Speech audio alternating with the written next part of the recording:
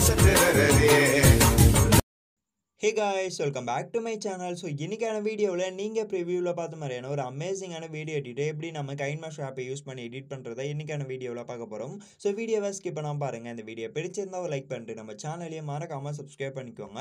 தென் நீங்கள் இன்னும் நம்மளுடைய டெலிகிராம் குரூப்பில் வந்து ஜாயின் பண்ண இருந்தீங்கன்னா ஜாயின் பண்ணிக்கோங்க. இந்த இடத்த பார்த்தீங்கன்னா நிறைய அப்டேட்ஸ் வந்துட்டே இருக்கும். ஸோ டிஸ்கிரிப்ஷன் பாக்ஸில் லிங்க் இருக்குது ஸோ அந்த லிங்கை கிளிக் பண்ணி நீங்கள் இன்னும் நம்மளுடைய டெலிகிராம் குரூப்பில் வந்து ஜாயின் பண்ண இருந்தீங்கன்னா ஜாயின் பண்ணிக்கோங்க. இப்போ உங்ககிட்ட இருக்கக்கூடிய கைன் ஆப் வந்து ஓப்பன் பண்ணிக்கோங்க. ஓப்பன் பண்ணதுக்கப்புறம் கைன் மாஸ்டர் ஆப்போட இன்டர்ஃபேஸ் பார்க்குறதுக்கு இந்த மாதிரி தான் இருக்கும். இப்போ ஓப்பன் பண்ணதுக்கப்புறம் இங்கே பார்த்தீங்கன்னா நியூ ப்ராஜெக்ட்னு இருக்கும். ஸோ இந்த நியூ ப்ராஜெக்ட்ன்றதை கிளிக் பண்ணிக்கோங்க. கிளிக் பண்ணதுக்கப்புறம் இங்கே பார்த்தீங்கன்னா ரேஷோ வந்து கொடுத்துருப்பாங்க. நீங்கள் நைனோ சிக்ஸ்டீன் oh அந்த ரேஷோ வந்து செலக்ட் பண்ணிக்கோங்க. செலக்ட் பண்ணதுக்கப்புறம் இங்கே பார்த்தீங்கன்னா அட்வான்ஸ்னு இருக்கும். ஸோ அதை கிளிக் பண்ணிக்கோங்க. கிளிக் பண்ணதுக்கப்புறம் இந்த இடத்துல ஸ்க்ரோல் பண்ணிட்டு வந்தீங்கன்னா உங்களுக்கு வந்து ஃபோட்டோ டிஸ்பிளே மோட்னு இருக்கும். நீங்கள் வந்து ஃபிட்டுன்னு இருந்துன்னா ஃபில் வந்து மாற்றிடுங்க மாற்றினதுக்கப்புறம் அகைன் நீங்கள் பார்த்தீங்கன்னா க்ரியேட்னு இருக்கும். ஸோ அதை வந்து கிளிக் பண்ணிக்கோங்க. இப்போ டேரெக்டாகவே உங்களுடைய கேலரிக்குள்ளே போனதுக்கப்புறம் இப்போ வந்து ஃபஸ்ட்டு நான் ஆட் பண்ணக்கூடிய இந்த லிரிக்ஸ் வீடியோ வந்து ஆட் பண்ணிக்கோங்க.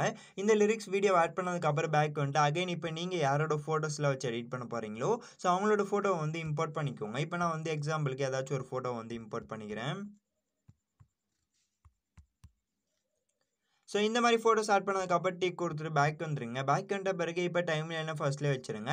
வச்சதுக்கப்புறம் அகைன் நீங்கள் ஆட் பண்ணியிருக்கக்கூடிய இந்த லிரிக்ஸ் டெம்ப்ளேட் வீடியோ கிளிக் பண்ணி மியூசிக்னு இருக்கும். ஸோ இதோட வேல்யூ வந்து டிக்ரீஸ் பண்ணி இந்த மாதிரி ஜீரோவில் வச்சதுக்கப்புறம் டிக் கொடுத்துட்டு பேக் வந்துட்டு அகைன் நீங்கள் பார்த்தீங்கன்னா ஆடியோ சிம்பிள் இருக்கும். அந்த ஆடியோ சிம்பிளை வந்து கிளிக் பண்ணிக்கோங்க.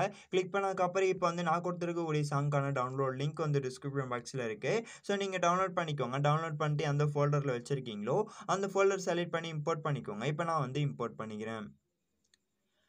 இப்போ நான் கொடுத்துருக்கக்கூடிய இந்த சாங் ஆட் பண்ணதுக்கப்புறம் இப்போ உங்களுடைய ரெண்டு ஃபிங்கர் வச்சு இந்த மாதிரி ஜூம் பண்ணுங்கள் ஜூம் பண்ணிங்கன்னா இந்த சாங்கோட வேவ் லென்த்தில் உங்களுக்கு நல்லாவே தெரியும். ஸோ இப்போ என்ன பண்ணுறீங்கன்னா கரெக்டாக அந்த லிரிக்ஸுக்கு அடுத்திருக்கக்கூடிய ஃபர்ஸ்ட் ஃபோட்டோ இருக்குது பார்த்தீங்களா இந்த ஃபர்ஸ்ட் ஃபோட்டோ வந்து கிளிக் பண்ணிக்கோங்க. கிளிக் பண்ணதுக்கப்புறம் கரெக்டாக இந்த இடத்த பார்த்தீங்கன்னா சாங்கோட பீட் குறைஞ்சி அதுக்கப்புறம் பார்த்தீங்கன்னா இங்கே சாங்கோட பீட் வந்து ஏறும். ஸோ இது வரைக்குமே உங்களுடைய ஃபோட்டோஸ் வந்து கிளிக் பண்ணிக்கோங்க. கிளிக் பண்ணதுக்கப்புறம் இந்த சிசர் ஐக்கான் இருக்கும். ஸோ அதை செலக்ட் பண்ணிட்டு ட்ரிம் ரைட்டுன்றதை கொடுத்துக்கோங்க. கொடுத்ததுக்கப்புறம் கரெக்டாக வந்து கட் பண்ணிவிடுங்க கட் பண்ணதுக்கப்புறம் இப்போ இந்த ஃபோட்டோ கிளிக் பண்ணதுக்கப்புறம் இந்த இடத்த பார்த்தீங்கன்னா கிளிப் கிராபிக்ஸ்னு இருக்கும். ஸோ அதை வந்து கிளிக் பண்ணிக்கோங்க. கிளிக் பண்ணதுக்கப்புறம் இப்போ வந்து நம்ம இந்த மெமரிஸ் லேர்ன்ற எஃபெக்ட் ஆட் பண்ண போகிறோம் இந்த எஃபெக்ட் எப்படி டவுன்லோட் பண்ணுறதுனா இங்கே பார்த்தீங்கன்னா உங்களுக்கு வந்து வீடு போல் ஒரு சிம்பிள் இருக்கும். அந்த சிம்பிளை வந்து கிளிக் பண்ணிக்கோங்க. கிளிக் பண்ணதுக்கப்புறம் இப்போ டேரெக்டாக வந்து நெக்ஸ்ட் பேஜ் வந்துடும் நெக்ஸ்ட் பேஜ் வந்ததுக்கப்புறம் பார்க்குறதுக்கு உங்களுக்கு இந்த மாதிரி தான் இருக்கும். நீங்கள் இன்டர்நெட் ஆன் பண்ணலன்னா உங்களுக்கு வந்து இந்த மாதிரி பேஜ் வந்து ஓப்பன் ஆகாது.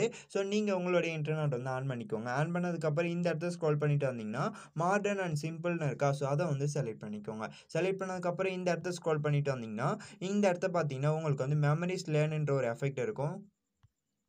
இங்கே இருக்கா? ஸோ இந்த எஃபெக்ட் வந்து கிளிக் பண்ணிக்கோங்க. கிளிக் பண்ணி உள்ள வந்ததுக்கப்புறம் எனக்கு வந்து இந்த இடத்த பார்த்தீங்கன்னா இன்ஸ்டால்னு இருக்கும். ஸோ உங்களுக்கு வந்து டவுன்லோட்னு ஒரு ஆப்ஷன் இருக்கும். ஸோ அதை கிளிக் பண்ணிங்கன்னா உங்களுக்கு வந்து டவுன்லோட் ஆகி இன்ஸ்டால்னு வந்து சேஞ்ச் ஆகிடும் ஓகேவா சேஞ்ச் ஆனதுக்கப்புறம் இப்போ இந்த எஃபெக்ட்டை டவுன்லோட் பண்ணதுக்கப்புறம் பேக் வந்தீங்கன்னா இந்த இடத்த வந்து எஃபெக்ட் ஆட் ஆகிடும் இந்த இடத்த எஃபெக்ட் ஆட் ஆனதுக்கப்புறம் இந்த இடத்த கிளிக் பண்ணிட்டு இதில் உங்களுக்கு வந்து ஓவராலாக வந்து எயிட்டா இல்லைனா செவன் சாரி செவன் வந்து இருக்கும்.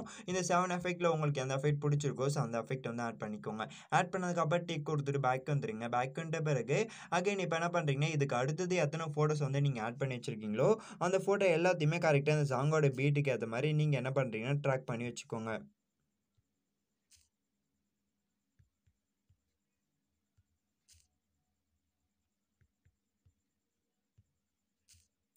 ஸோ இந்த மாதிரி கரெக்டாக நீங்கள் எத்தனை ஃபோட்டோஸ் வந்து ஆட் பண்ணி வச்சுருக்கீங்களோ அத்தனை ஃபோட்டோக்குமே இந்த சாங்கோட பீட்க்கு ஏற்ற மாதிரி கரெக்டாக வந்து ஆட் பண்ணிடுங்க ஆட் பண்ணதுக்கப்புறம் இப்போ அகைன் ஃபஸ்ட் ஃபோட்டோ விட்டுட்டு செகண்ட் ஃபோட்டோ வந்து கிளிக் பண்ணிக்கோங்க. கிளிக் பண்ணதுக்கப்புறம் அகைன் கிளிக் ப்ராபீஸ்னு இருக்கும். ஸோ அதுக்குள்ளே போயிட்டு இந்த கால்மி டிஜேன்ற எஃபெக்ட் வந்து ஆட் பண்ணிக்கோங்க.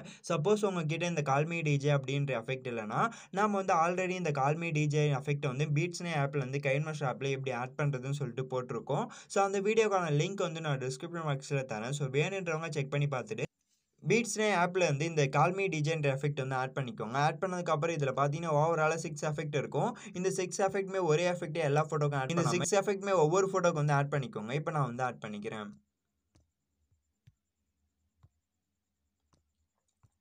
ஸோ இந்த மாதிரி இந்த கால்மி டிஜேன்ற எஃபெக்ட் ஆட் பண்ணதுக்கப்புறம் பேக் வந்துட்டு இப்போ லிரிக்ஸ் வீடியோவுக்கு அடுத்தது ஃபோட்டோ எங்கேருந்து ஸ்டார்ட் ஆகுதோ ஸோ அங்கே டைம்லேனே வச்சுருங்க? வச்சதுக்கப்புறம் அகைன் நீங்கள் பார்த்தீங்கன்னா லேயர்னு ஒரு ஆப்ஷன் இருக்கும். ஸோ அதை கிளிக் பண்ணி மீடியான்ற ஆப்ஷன் இருக்கும். ஸோ அதை வந்து கிளிக் பண்ணிக்கோங்க. கிளிக் பண்ணதுக்கப்புறம் இப்போ டேரெக்டாக உங்களுடைய கேலரிக்குள்ளே போனதுக்கப்புறம் இப்போ வந்து பிளாக் ஸ்க்ரீன் டெம்ப்ளேட் வீடியோ வந்து இம்போர்ட் பண்ணிக்கலாம். இந்த டெம்ப்ளேட் வீடியோக்கான டவுன்லோட் லிங்க்குமே வந்து டிஸ்கிரிப்ஷன் பாக்ஸில் இருக்குது ஸோ நீங்கள் டவுன்லோட் பண்ணிக்கோங்க. டவுன்லோட் பண்ணிட்டு எந்த ஃபோல்டரில் வச்சுருக்கீங்களோ அந்த ஃபோல்டர் செலக்ட் பண்ணி இம்போர்ட் பண்ணிக்கோங்க. இப்போ நான் வந்து இம்போர்ட் பண்ணிக்கிறேன்.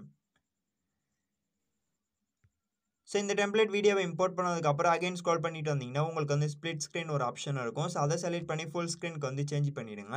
சேஞ்ச் பண்ணதுக்கப்புறம் பேக் வந்துட்டு அகைன் ஸ்க்ரோல் பண்ணிட்டு வந்தீங்கன்னா உங்களுக்கு வந்து பிளண்டிங்னு ஒரு ஆப்ஷன் இருக்கும். ஸோ அதுக்குள்ளே போயிட்டு ஸ்க்ரீன்ன்ற ஆப்ஷன் இருக்கும். ஸோ அதை வந்து கிளிக் பண்ணிக்கோங்க. கிளிக் பண்ணதுக்கப்புறம் டிக் கொடுத்துட்டு பேக் வந்துடுங்க. பேக் வந்துட்ட பிறகு ஃபர்ஸ்ட்லேயே பார்த்தீங்கன்னா ஆடியோ சிம்பிள் இருக்கும். அந்த ஆடியோ சிம்பிளை கிளிக் பண்ணி மியூட் பண்ணிடுங்க. மியூட் பண்ணதுக்கப்புறம் இந்த வீடியோவில் ஓடக்கூடிய ஆடியோ மியூட் ஆகிடும் மியூட் ஆனதுக்கப்புறம் டிக் கொடுத்துட்டு பேக் வந்துட்டு டைமில் என்ன ஃபஸ்ட்லேயே வச்சுருங்க. வச்சதுக்கப்புறம் அகைன் லேயர்னு ஒரு ஆப்ஷன் இருக்கும். ஸோ அதை கிளிக் பண்ணி மீடியான்ற ஆப்ஷன் இருக்கும். ஸோ அதை வந்து செலக்ட் பண்ணிக்கோங்க. செலக்ட் பண்ணதுக்கப்புறம் இப்போ வந்து வீடியோக்கான அவுட்லைன் இமேஜை வந்து நம்ம இம்போர்ட் பண்ணிக்கலாம்.